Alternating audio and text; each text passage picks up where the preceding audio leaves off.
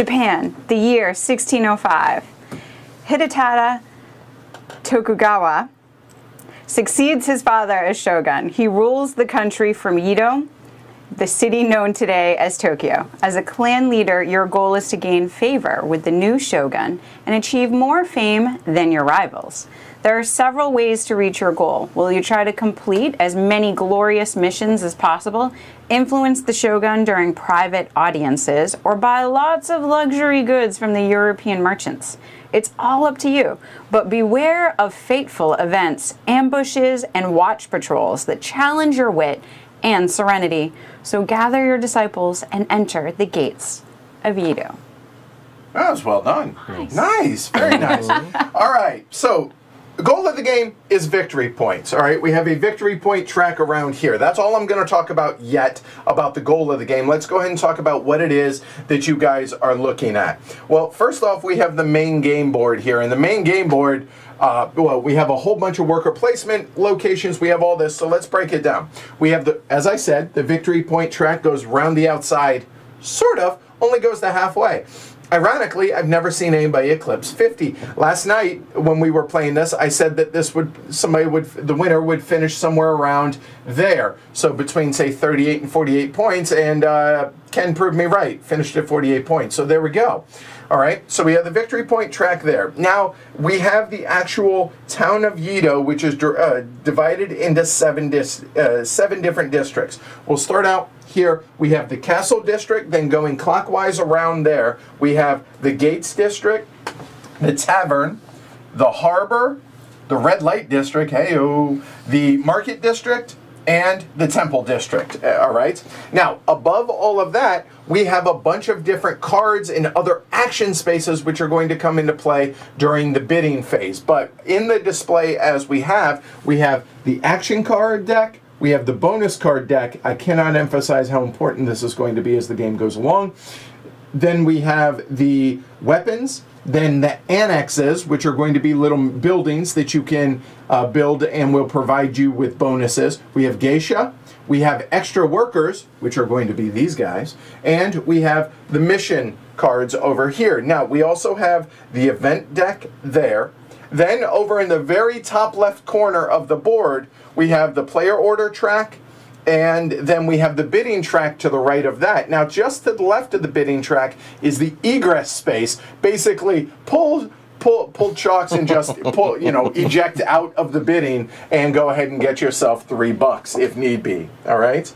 So that's kind of what we're looking at here. Now, each of the locations also have worker placement spaces because at its core, this is a worker placement and a recipe fulfillment game. Okay, so anywhere you see these little squares out here are going to be worker placement spots. Now, in a four player game, this one location here in the temple is actually blocked off as you can see there. So as it is, the temple only has two locations available. Then we have three over here in the market, so on and so forth. So it gives you an idea of what it is that you're looking at.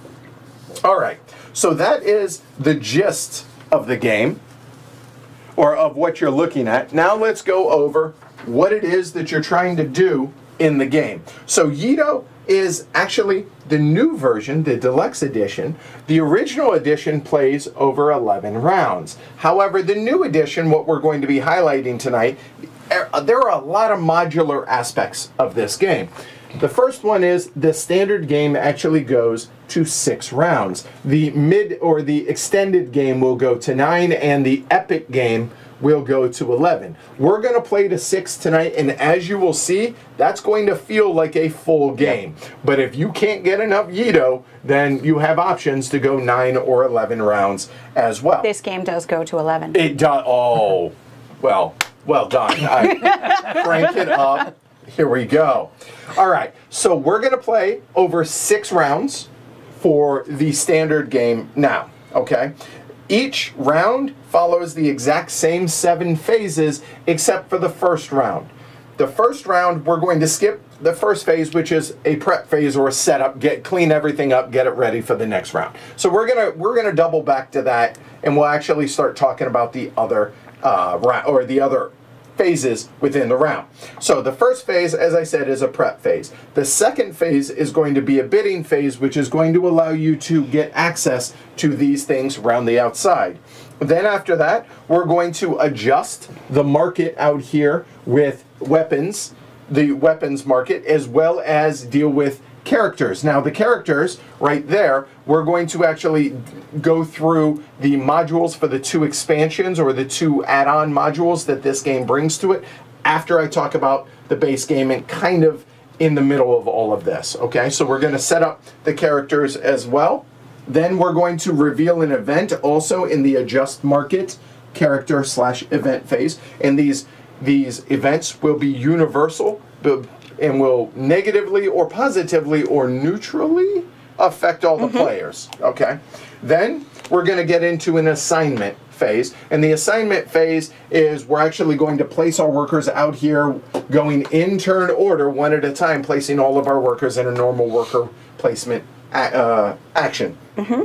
Then we have the Watch Patrol, which I, I, realize I neglected to talk about him, but we don't talk about him in, in mixed company because he is not a nice guy. So the Watch Patrol is going to move. He's going to advance around depending on whether he is the blue or possibly the red. Now we did randomize at the beginning of this, and by randomize we flipped this, and it came up, well, not red, it came up blue. blue. So the blue guy is out here and he starts in the Gates District. He is going to arrest any characters or any uh, any of our workers mm-hmm. that are in the area in which he goes to, which is that phase. Then there is a trading phase. The trading phase will work only between players that are in the market down here or the other location down here. Carpenter, maybe? Uh, I'm sorry? Yes, that's the carpenter. carpenter. Yes, the carpenter uh, area down here. So if players are here or here, they may trade things amongst themselves. We'll go over that in detail as we go along. And then finally, the last phase of a round is the actions phase, and where the meat of the game is actually going to take place. Now, I realize I failed to show you guys the rest of the items that are in this game. So everybody has a player board in theory. Now the player boards are, are, are big. Um, these are going to be trimmed down, actually, but as it is, I wanted to be able to show you guys what the player boards look like. So on the player boards, you have room for things. So you have room for your mission cards, your completed missions, you have your workers, your money for whenever you build annexes, you have spots for your max three geishas, and you also have a room for your blessing token. And I say that singular because you're only allowed to have one blessing token. And finally, there are weapon slots up at the top up there as well. So because these are a bit big, and I would have to zoom way, way too far out, we decided to forego everybody else's player boards because honestly, you don't need them, but it I'm going to use it for you guys. They're helpful reminders of the they limits are. for mm-hmm. each Exactly. All right. All right. So that said, let's go into how you actually play Yedo. So in phase one of the seven phases, the first thing you're going to do is advance the turn marker. Well, obviously we're going to skip all this in phase one, but any bidding markers that are going to be out here, we're going to then stack up in turn order so that they match. We're going to place three mon, which this uh, precedes yen, by the way. So this is actually three mon. So we will place three mon in the church location here. If there is already uh, three or more money in there, we will then add one mon to that. And this will be kind of a, uh, a place where you can just go and get money. Then on top of that, anybody that has a dojo, so one of these annexes here, anybody that has that is going to be able to get one mon at that point. And last but not least, we're going to go ahead and do some things with the characters as well as draw one of the specialists out of the bag. But I will go through all of the, the specialists as well as the characters after we go through the main teach. So there's the prep phase. The second phase is the bidding phase. Now the bidding phase, you're going to notice below each of these locations, there is some amount of mon shown. And what's going to happen is whoever's first in turn order, so in this case, as it, we'll randomize it before we get started, but as it is, I am yellow, so I would go first. I would have my option to put up for auction or for bidding any of these things. and we would be able to get the winner of that bid would be able to uh, receive whatever that is. So let's say for whatever reason I say I want to go to the annex. So we're going to move my marker over here to the annex space. It is implied I must have that amount of money. Before this happens, however, we're going to call would anybody like to drop out and egress? If the answer is yes, then they say yup, and they will move their marker over there, and they do not take place, uh, take part in any of the bids. They just get three mon from the bank, because you'll notice the cheapest spots are three mon. So if you will only have two, well, you can't even do that. So you're going to go ahead and back out at that point. So, other than that, I say I want to go ahead and put a uh, one of these locations up for auction. It is implied that I bid five mon, so I must have that amount to be able to. My, everything is open information except for cards. So any of your missions, your bonus cards, or your action cards are hidden. Otherwise, everything else is Right. uh, open information, including money. So I say it's five. Then in turn order. So in this case, Jess, she either ups the bid or passes for. It's a once around. So let's say she says seven, Yeah. then it goes to Lee who says nope, not interested. Then Ken says, you know what, I'll go nine. I now have I not only put in the first bid, I also get the option for last licks. So I can either up the bid to 10 and win it or pass. If I win it, then I pay that whatever the money is to the bank. I leave my marker there. I take one of the annexes, I take it onto my player board, and I will score two points. However, let's say I chose not to and I said, nope, Ken, you can go ahead and pay your nine bucks. In that case, my marker will go back to the top and Ken's marker, his blue one, will come out and go into that location. And now he would do the exact same thing. Right. But he's now out of it. And that location is now not available for bidding. And who bids now? Well, who's top of the bid track? Oh, that'd be me because I didn't win. So then I say, you know what? Maybe now I want weapons. So I come over here, I go to the weapon location. Implied three or three mon uh, bid, then Jess, then Lee. We do it again. If one of them bids and I choose not to outbid them, then they would put their marker on there. We would rinse and repeat, and we will continue doing this until I actually win one of the locations. So there is some strategy involved here in do I go for what I want or do I try and get people out of and maybe this is really what I want or maybe you get the idea, okay? So let me go through what the various things are out here that you can actually get. The action cards, you're allowed three of them at any given time. You know how you know this? Because it says you're allowed a maximum of three of them at any given time. And by their one time use rule breakers. And there's a whole host of what they do. So, what you would do, if you win that, you would draw three, keep one, put the other two to the bottom of the deck. The bonus cards. Let me pause for a moment and stress to you how important bonus cards are. Because there is very, very, very little scoring at the end of the game that aren't bonus cards. And as I've been told, if a game has bonus scoring or uh, in game scoring, you should probably focus on that. Well, you're allowed two bonus cards maximum. Again, I know that because my player board says I'm allowed two of them. If I, at any point I ever acquire a third, I must discard down to two immediately. But you can draw a third to then discard. These are in-game points, all of them. They range from essentially one point up to uh, I think I've seen a max of eight. Eight. I think. Yeah. Um, so they do run the gamut here, and they're going to affect various different things. But here, draw three, keep one. This is one of the only ways in which you're ever going to be able to get a bonus card. At The end of the game. Okay, for the end of the game. You have six rounds. There will be six bids for these at most. Keep that in mind. Okay? Weapons. Weapons are going to be for recipe fulfillment for these missions you're going to be needing. So here, you're going to need, there are eight different types of weapons in this game. So you can draw the top three, discard two, keep one. Easy enough. Annexes. So annexes are going to be special buildings that give you, infer some sort of benefit for them, both a passive and an active they are going to be worker placement spots for players that own them. So when you build one, you're actually going to take one of them and put them over here onto your player board, matching the symbol. So here we have a cool little garden. And I may potentially, during the assignment phase, put a worker on there. It will have a passive effect, meaning just that happens, and then there will be an active effect of when I actually man it with mm-hmm. one of my workers. Easy enough, right? Okay, so we'll go over those in detail before we get started there. Next, we have geishas. Geishas are going to be for recipe fulfillment as well for these missions, just like weapons. You are allowed a total of three of them because there are three spots on your player board. Uh, when you go here, you're going to acquire one of them.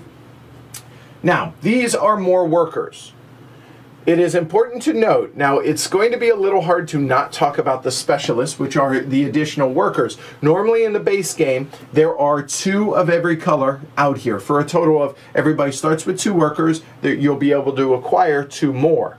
So go here, you get another worker for that round. If you do not get another worker for that round, there will be a way for us to be able to get that thanks to one of the additional modules, but Otherwise, these are going to be for subsequent rounds, not for this round like this one is. Okay, so only one person will have a third worker in the first round potentially. Everyone else will get two. Does that make sense? Mm-hmm. Yep. Yes. Last but not least, we have the mission cards. Now, the mission cards go from super easy to hard um, and everywhere in between. All right, so when you go and you win this location, you can draw three off that deck, look at them, keep one, put the other two to the bottom of the deck. And those are the recipe fulfillment. These are the core of the game. Yes, worker placement, but we're doing so to be able to fulfill these missions. Does that make sense? Yes. Yes. All right. So that is the bidding phase where we'll, we will continue until everybody has won a bid. Obviously, if there's only one player left, they're going to get it for face value, etc., etc. And if anybody is egress, they're not taking part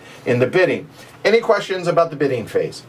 Nope. All right, moving on. Next is adjusting the market and revealing an event. Well, we're going to have two at most. We're going to keep whatever the left two weapons are of the five that are out here. We will slide and then refill. So there will always be five available for us to purchase.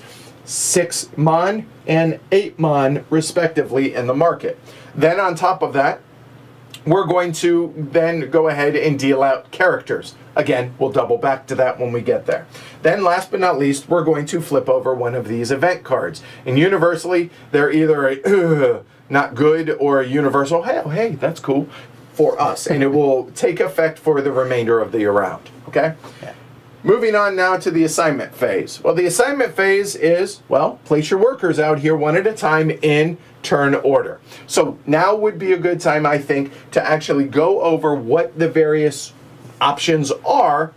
But before I do that, I want to actually kind of double back and go over the anatomy of the mission cards. Okay, so we'll start off with one of the green mission cards. These are the simplest cards. So at the top, it has a type of mission. So this one says it's an espionage card. There may be a warfare, there may be an assassination, there may be various things. These are going to tie in with the bonus cards. Oh, for every espionage, score two points, right, at the end of the game to a max Yep. of eight. Something along the lines of that. Then the title, which we will read because, you know, I'll be honest, these are actually kind of mm-hmm. cool. And what it is that you're doing a lot of the times ties in with the title of it. Now, this is placeholder. Yes, this is all Latin placeholder. Again, it's a prototype. But this shows the prerequisites for a given mission, and then the reward is on the white kind of painted parchment area. If you complete this, you get this, which is, uh, in this case, 5 mon. If I have a worker in the Gates District and I complete this mission, I get 5 mon. Easy, super simple. If I also, the bonus is in addition, you must complete this, you may complete this. This, a lot of times, is actually more beneficial than this part. But you can't just do the bonus. There's a reason it's called the bonus. You have to do the base and get the bonus to get it all. So in this case, if I have a worker in the gates area and in the market, I would get not five, but I would get 10 mon. I keep wanting to call it quid because I was joking around and calling it quid last night. So there we go. That's a real simple mission there. Moving on up now to a yellow mission. As an example, this one's an assassination. Bushido respect. Ah.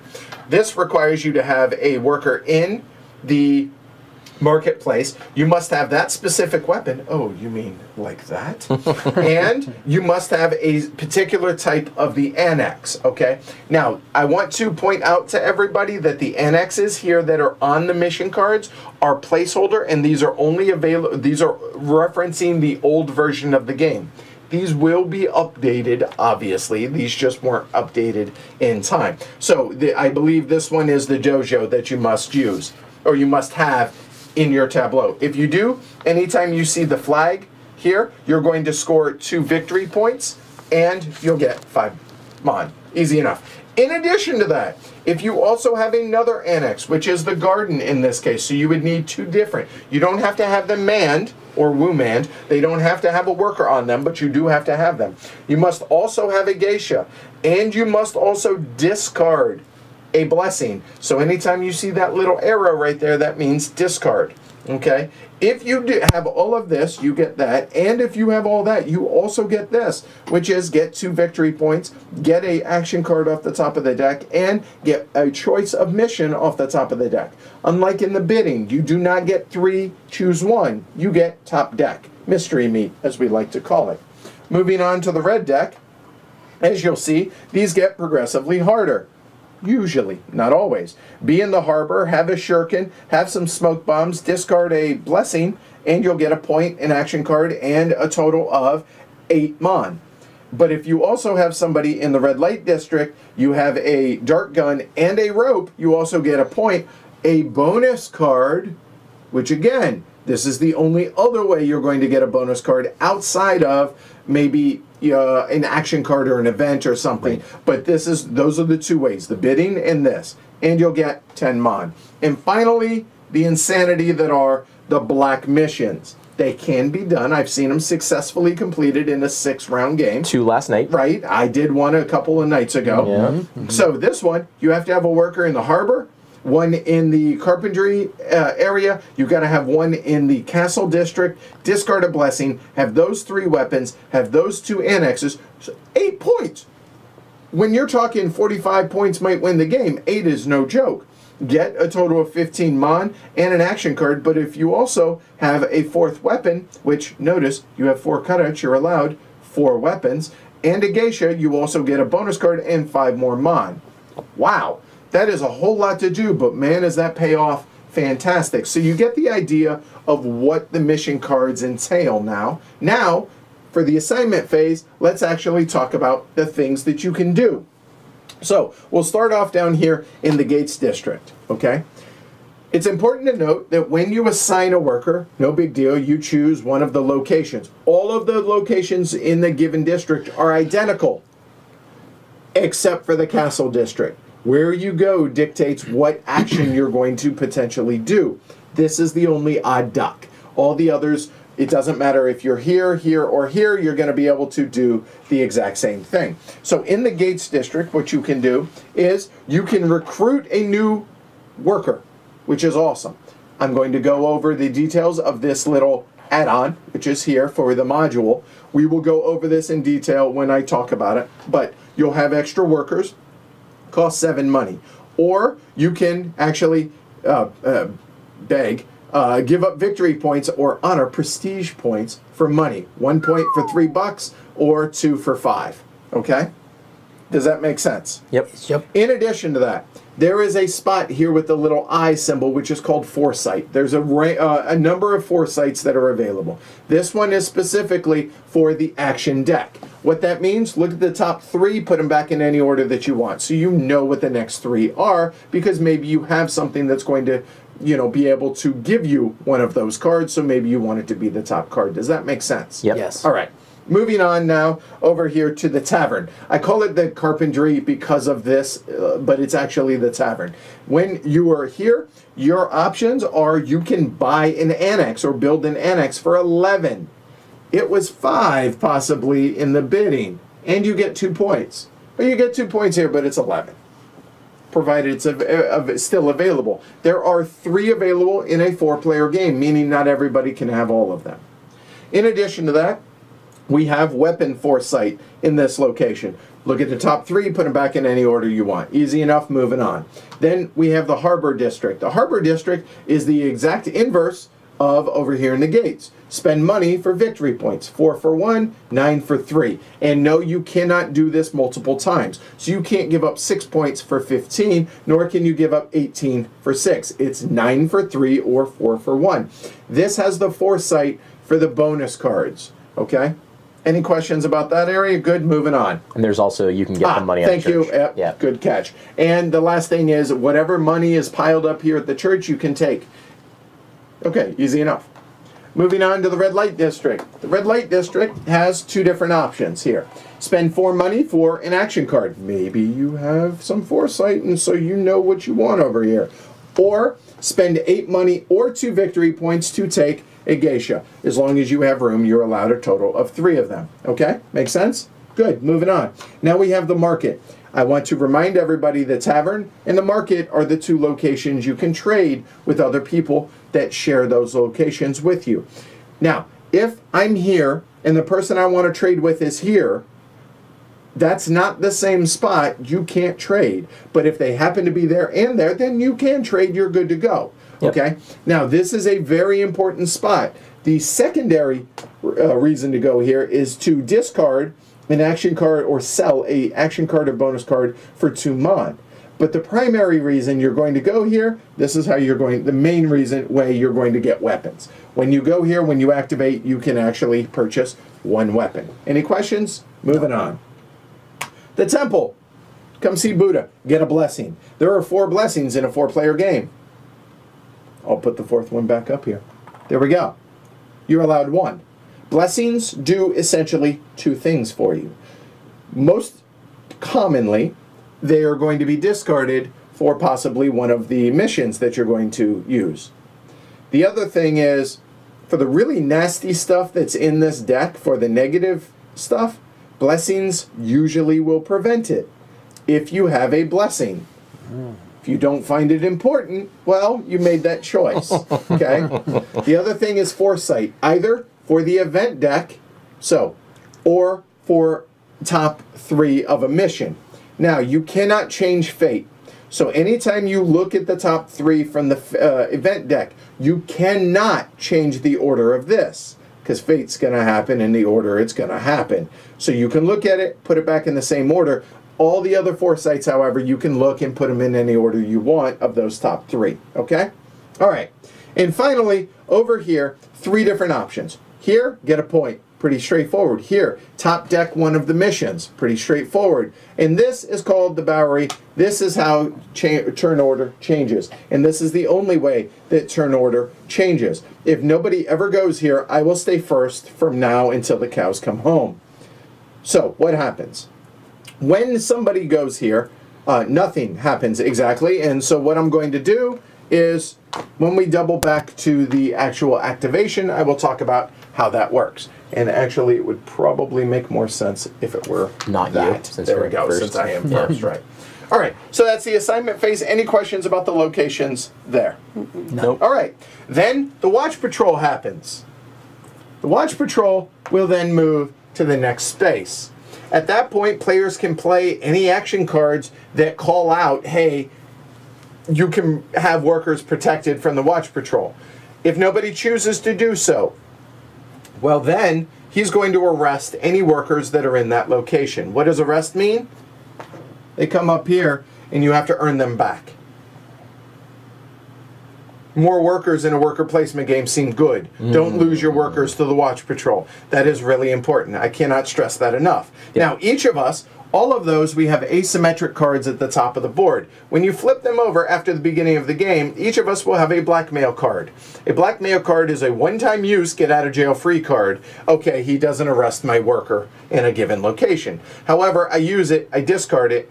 Otherwise, it's two points at the end of the game. Okay? So let's assume that the watch patrol was already there and maybe he was moving to that location and people smartly did not go there didn't have to worry about it easy enough okay now during this yeah and we'll just move on from there then the trading phase happens. Well, in the trading phase, you can trade with whoever shares that location with you just about everything.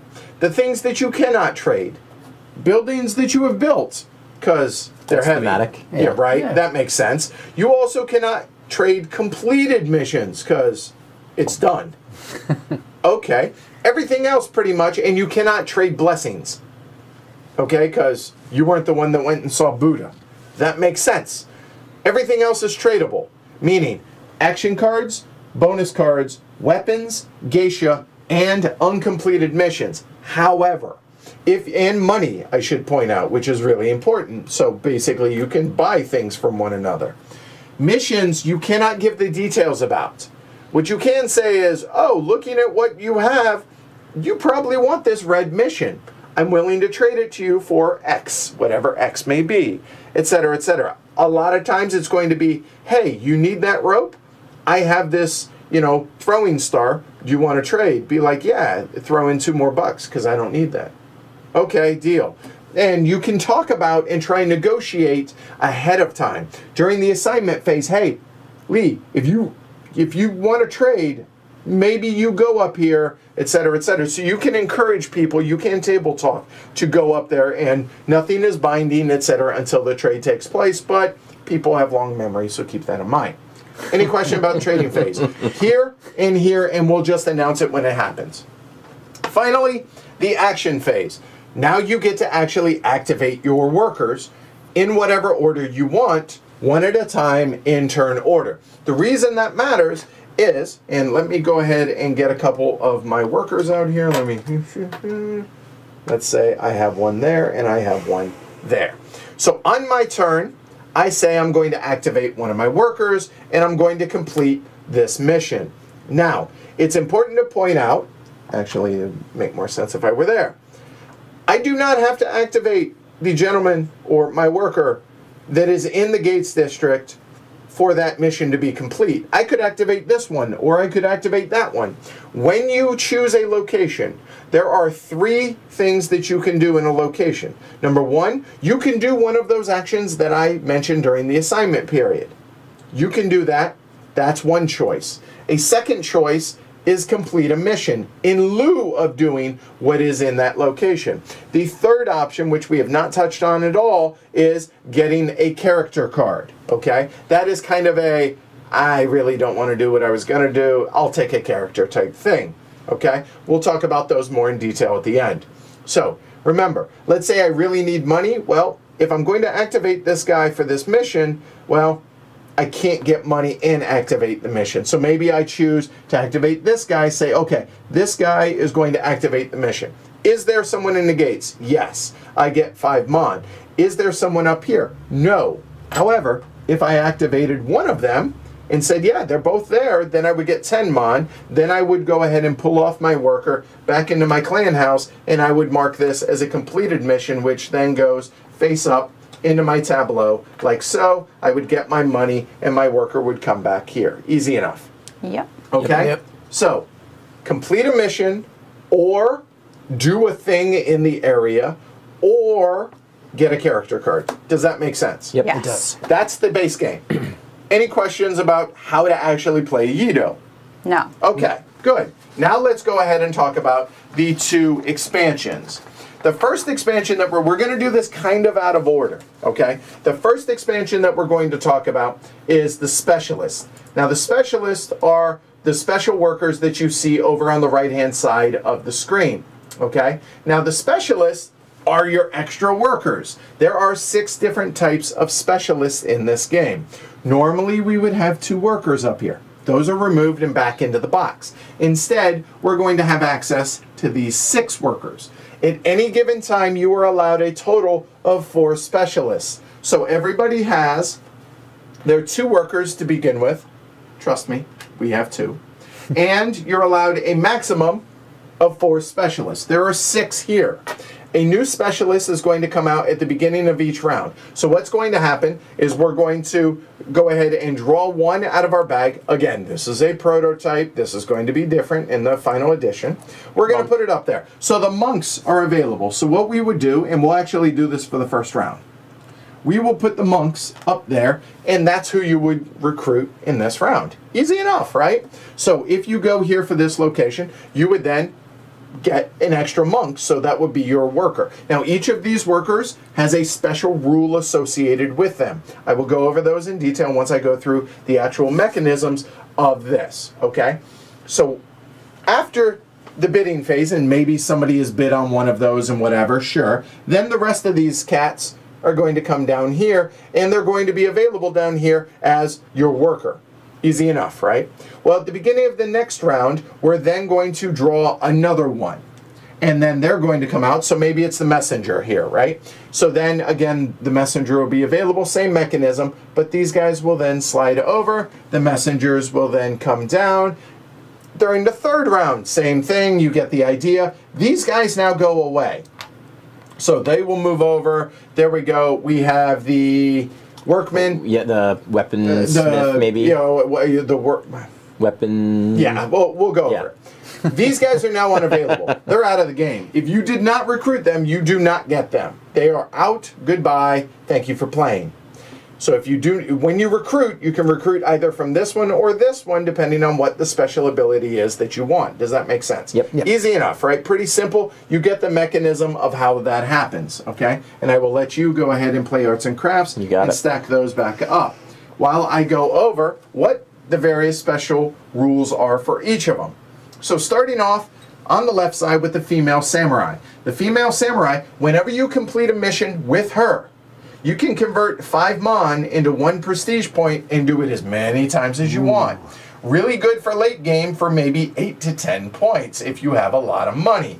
So she comes very valuable at the end of the game uh, because money's tight early on. Moving over now to the samurai. The samurai, whenever you complete a mission with him, he gives you an extra prestige point, an extra victory point. Easy enough. Then Moving on over from there, we have the weaponsmith, as Ken so eloquently reminded me. This, you're allowed to have five weapons. Why does that matter? Well, normally you're only allowed four. And let me remind you guys, some of these missions have four uh, on here. It allows you one extra, okay, and maybe a little bit of breathing room on that. Yeah, okay? came in pretty handy last night. That's All right, for sure. so there's that, and he did win, so there's that. Now moving over, now moving to the right, we have the messenger. Whenever you complete a mission using him or her, you get a new mission of your choice. Top deck it, okay? Then moving over the monk, the monk always counts as having a blessing for the purposes of missions if they complete the mission, if they're using, if they're the ones completing the mission, okay? And any of these prophecy spaces, they get a plus one. So instead of looking at top three, you get to look at the top four. All right, easy enough. And finally, last and certainly not least, the ninja. The ninjas don't have to worry about being arrested. They are immune to the watchman. Pretty nice. Yeah. Okay? So, any questions about the various characters or specialists that are in the game? Nope. No.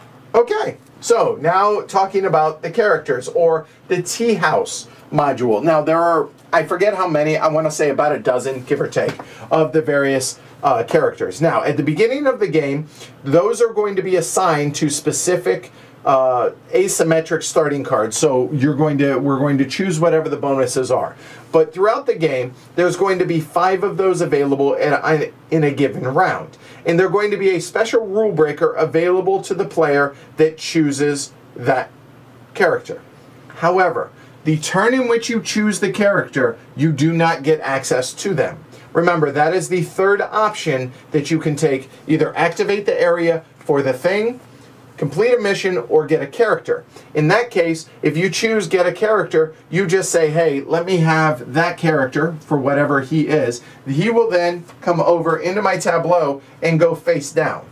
At the beginning of the next round, it'll turn face up, and now I get to do whatever the special ability is. And these are one time use usually, and it will say discard after use or at the end of the action phase. Easy enough. Yep. Okay? And you're only allowed one of these at a given on a given turn. Okay? Now, You'll notice that they also have victory point markers up here in the top right hand corner. The reason for that is in the last round, well, if you recruit them in the last round, you don't get to actually use them.